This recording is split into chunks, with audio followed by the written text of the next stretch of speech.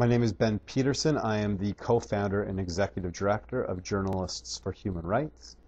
Um, in that role, I oversee the day-to-day operations of our organization.